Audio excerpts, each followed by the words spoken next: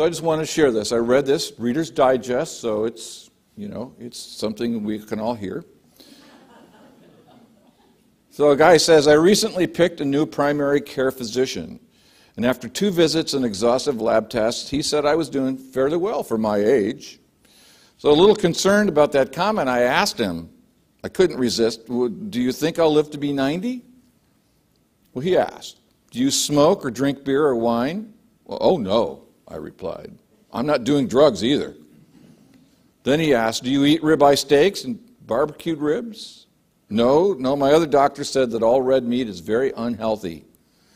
Do you spend a lot of time in the sun? Do you play golf, hike, or bicycle? Oh, no, no, I don't. He asked, Well, do you gamble, drive fast cars, or have a lot of sex? No, no, I don't do any of those things. He looked at me and said, Then why do you want to live to be 90?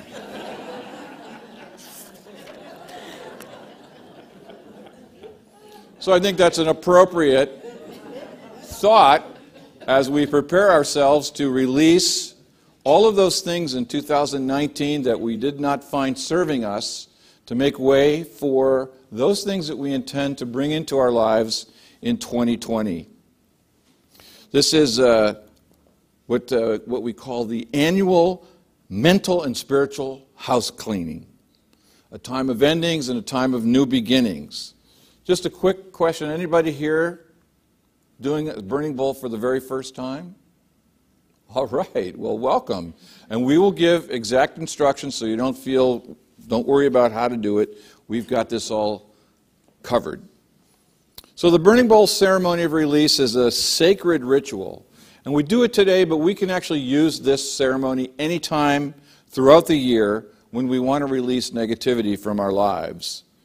Because when we release negativity, we, we are made whole. We are washed clean in the love and peace of spirit.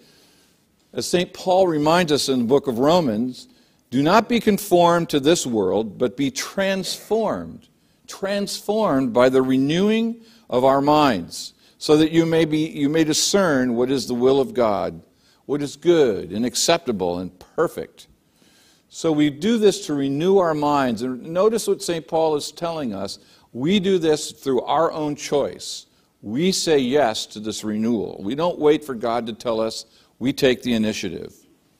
So, as we look back on this past year, 2019, what do we see? What, what did we hold in mind in, in our minds and hearts that brought us goodness? Which of those beliefs that help bring us goodness can we build upon in the coming year to increase the goodness in our lives, to bring us more love, more life, more health, more prosperity, more joy. On the other hand, where did we miss the mark in 2019? What could we have done a little better? How can we be more, what can we do to be more kind to ourselves? What do we need to let go of? Whom do we still need to forgive? Or from whom do we still need to ask forgiveness? More importantly, what can we do now as this new year is arriving to more closely live from our divine essence? After all, this divine essence is our greatest treasure, is it not? It's our greatest power. It's the source of all the good that we wish to attract to us for the rest of the days of our container available to us after the service. So, to make this annual ritual, this house cleaning ritual, most effective, we want to do three things. First, we want to be willing to forgive ourselves for all of our mistakes, not just some of them, for all of them. The past is over, and we let forgiveness wipe away all of our tears, all of our fears, all of our sorrows. So, number one, be willing to forgive ourselves for our mistakes. Number two, be willing to forgive everyone else. Again, no asterisk, so we don't get to be willing to forgive some people but not others. It doesn't work that way. And then number three, we need to be willing to tell a new story for ourselves, to prepare a new table for the new feast that's coming up in 2020. I mean, don't we agree? Unless we let go of our past, there will be no mystery about our future. Our lives will be just like the movie Groundhog Day, where every day is the same as the day before, and we're stuck on the rerun. Isn't it wonderful now that we actually have a process there whereby we can leave behind resentment, anger, fear, guilt? That's a good one for me. What ifs, insecurity, inferiority. Isn't it exciting, really, to think instead about new possibilities, new adventures, new connections of love, new friends, new family? To experience healing and wholeness, we have to be willing to give up our attachment to the small s self of us. I choose to give up the attachment to little Marty that's made mistakes, experienced failure, suffered illness, gone through poverty, messed up, felt victimized, been betrayed or rejected once felt unpopular, has been wrongly accused, has not gotten the love. Who of us wants to unblock emotions, release pain, gain new insight, feel lighter, be open to more intimate relationships, feel compassion, feel secure? Achieve peace of mind, have more happiness, to begin again, to stand in strength, as Connie read from our Advent book. The world has finished with our past, if we have. So let's start with an affirmation. The world has finished with my past and so have I. The world has finished with my past, and so have I. Together, the world has finished with my past, and so have I. So now we're going to get to the work. We're going to use a three step process where we offer up the things that no longer hold a healthy or meaningful purpose in our lives. And the three areas of release that we're going to consider are in these categories personal, community and family, and global. So I'll guide you through each part. You may have to write, uh, you may have more to write in one area than another, and that's okay. But overall, we'll make sure everyone has a time allotted to be enough for us to complete our release. So, are, you, are we ready to be transformed by Spirit? Answer is yes, unless the answer is no which is okay. All right, so everyone has a piece of flash paper. Does anyone not have their packet? Okay, we've got a couple of. It's in the envelope. Did you get the envelope? Okay, so there should be flash paper in your envelope. It's a little, it's a little.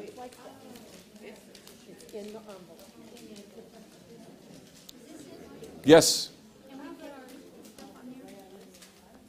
I know, you have to write real tiny.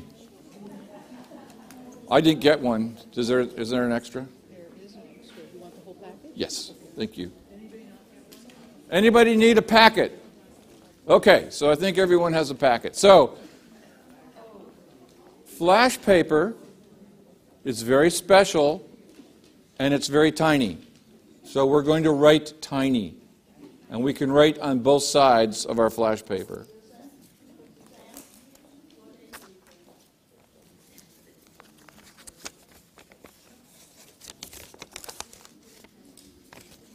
Okay, so I'm going to write it, I'm going to write lengthwise. That's me. Some people may want to write this way. But at the very top, let's write I release. You can use your uh, Wings of Prayer book to write on to give you a hard think surface. I release. So, category personal. Begin writing down those thoughts, feelings, attitudes, beliefs, and actions that no longer serve you in your own life. Anything that prevents you from living your highest potential, the full glory of the Christ presence. This may include fears, illness, resentments, anger, guilt, shame, weight, addictions, smoking, sugar, alcohol, drugs, depression, belief in lack, feelings of inferiority, or old conversation tapes in our heads I'm not good enough, I'll never be successful, I can't find my true purpose. Actions may, or beliefs that may no longer serve us may be I'm too old, too tall, too fat, too thin, too dumb, too inadequate, slow, too fast, too hyper, boring, all of the twos the terrible twos. So let's take some time now in sacred silence to write out those personal obstacles that you want to release.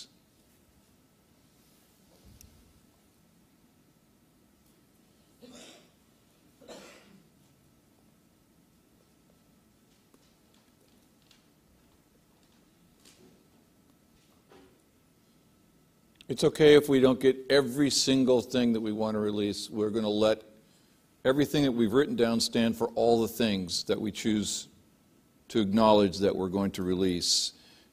That's in the category of personal. The next category of things that we want to release are in the realm of category and family,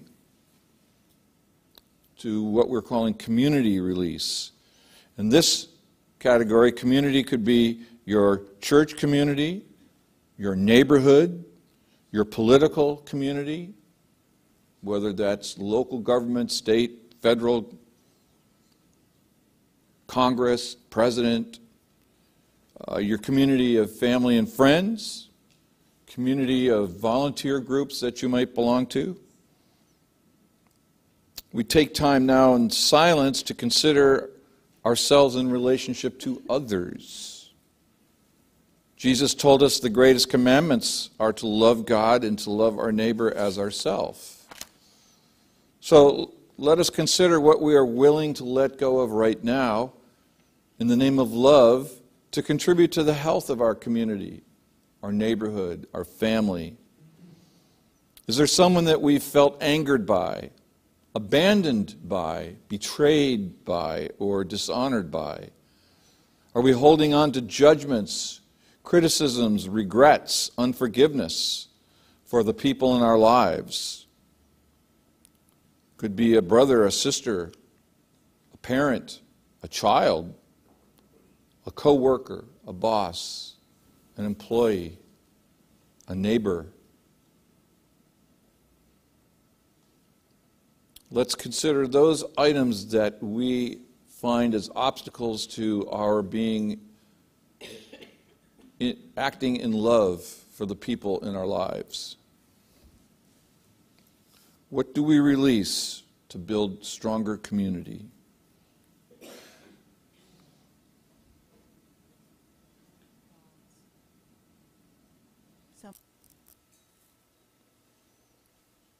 And finally, we're going to take a look at global release. When we consider that no person is an island, we can ask ourselves the question, therefore, who am I in relationship to my nation, my world? Am I holding on to thoughts, feelings, and actions that prevent me from contributing to the wholeness of the world, to the health of the world, to the love and connectedness of our whole planet?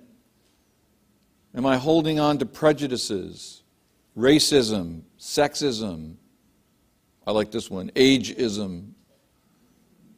Thoughts of violence, thoughts of repression, hatred, abuse. In the silence, we consider now what are we willing to release in the name of love so that the world can be healed through our commitment, through our release, through our connection to the divine. Global release.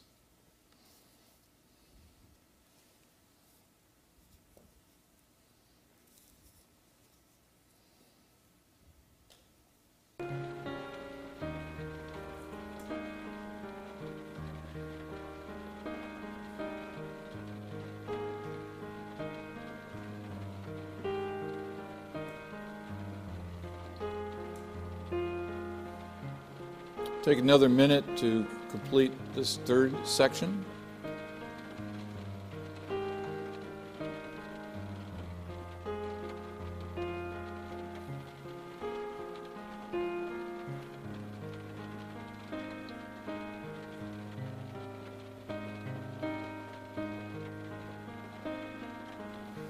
Again, we don't have to get every single thing that we could possibly come up with. We'll now allow all the things that we did write down to stand for all the things that we didn't have time to write down. And now's the time to bring this to the bowl. And what I'd like everybody to do is to take this little paper and twist it in such a way that we leave a little bit of a tail. And for those of you who would like to do it, come on up and drop it in the bowl. And if you don't want to come up, hand it to somebody who is coming up. But I'm going to invite maybe Veldon and Doug to start. Just come on up and drop. Release the release into the bowl. Now we could have a little walking music.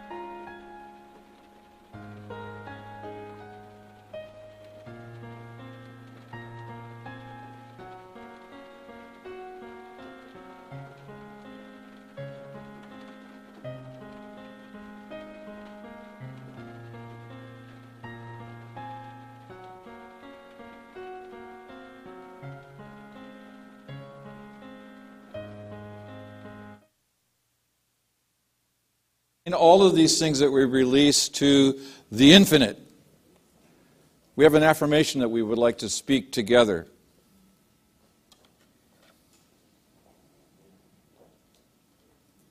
So let's close our minds. Let's think of all the things that we wrote down on our little piece of paper. Let's think of all of our brothers and sisters in this room all of us together participating in the same ritual of release. Today, I turn away from old habits of limitation.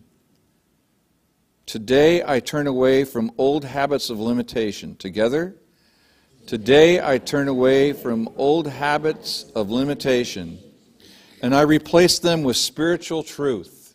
Together, and I replace them with spiritual truth. God's grace sets me free. Together. God's grace sets me free from mistakes of the past and the results of those mistakes. From the mistakes of the past and the results of those mistakes. My life is cleansed. My life is cleansed. And I am transformed by the power of Spirit within me. And I am transformed power of Spirit within me.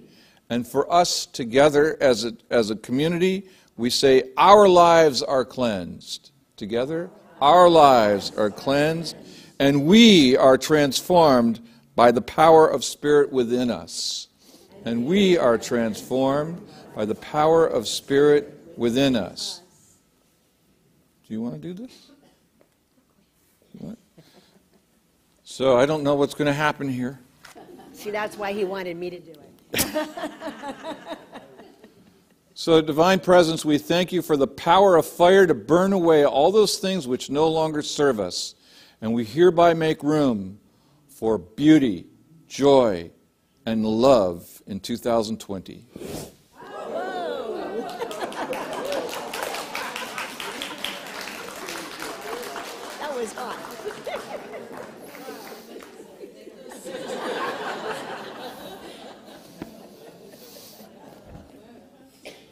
So, to celebrate this together, we'd like to sing. Song is something that brings us to uh, the feeling nature of what we just did, and we're going to sing It's a Special Day, number 221. We just created the special day for us now that we've released all those things that no longer serve us. Shall we rise?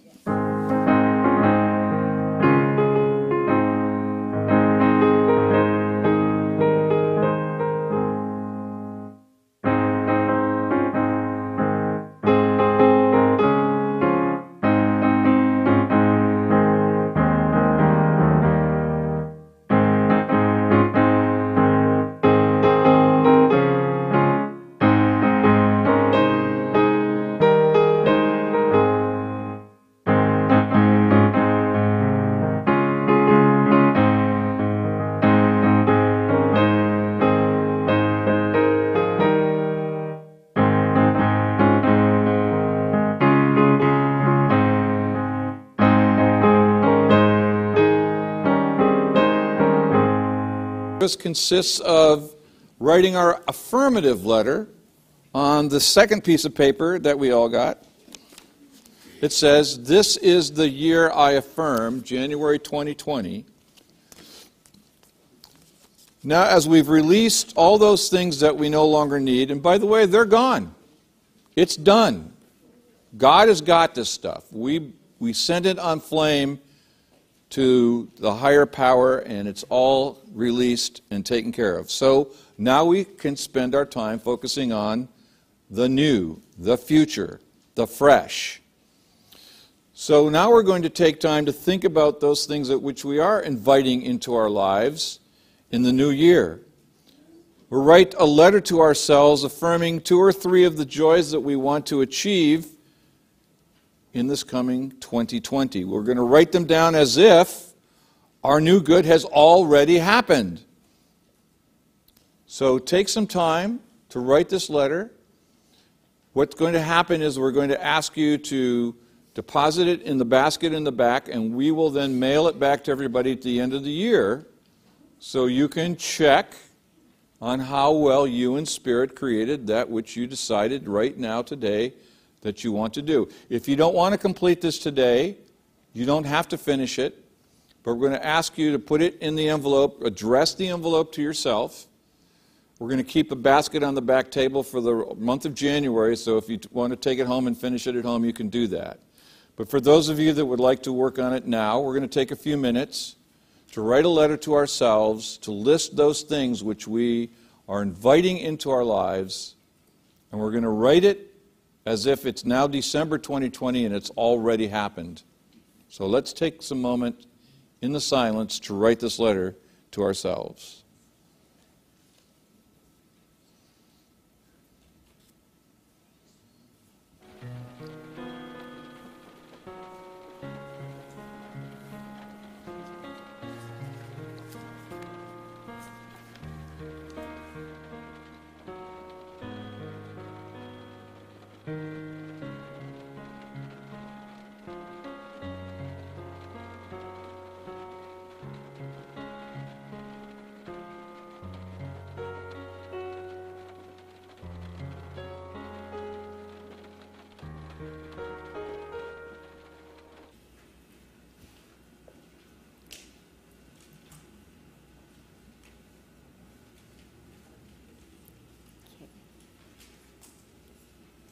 You ready?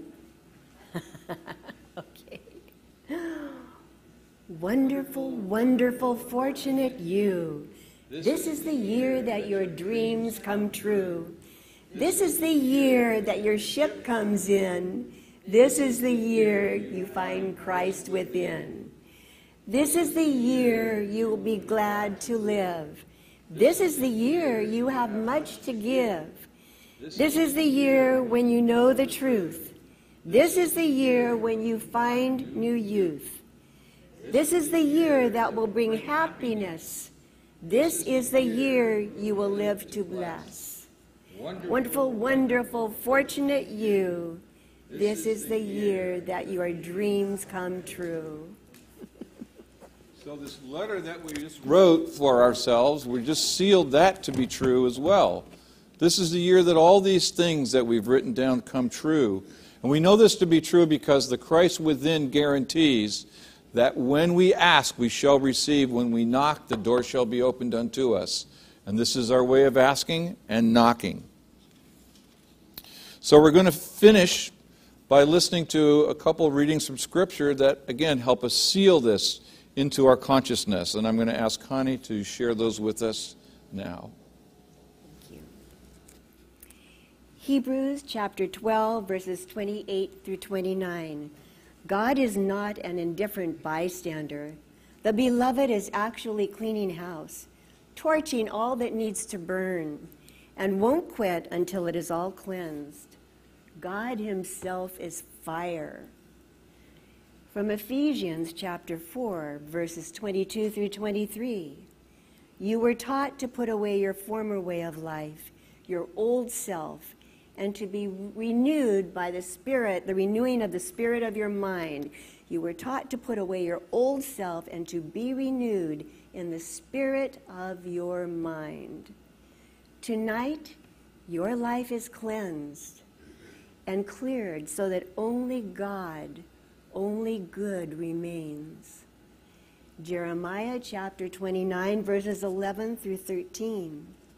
For I know the plans I have for you, declares the Lord plans to prosper you and not to harm you, plans to give you hope and a future. Then you will call upon me and come to me and pray, and I will listen to you. You will seek me and find me when you seek me with all your heart. Now, thank you, thank you Marty. So we're going to finish, uh, before we do our offering, we're going to finish with the affirmation. And the affirmation is this I am renewed by the cleansing of my mind. Together, I am renewed by the cleansing of my mind. Thank you, God. Amen.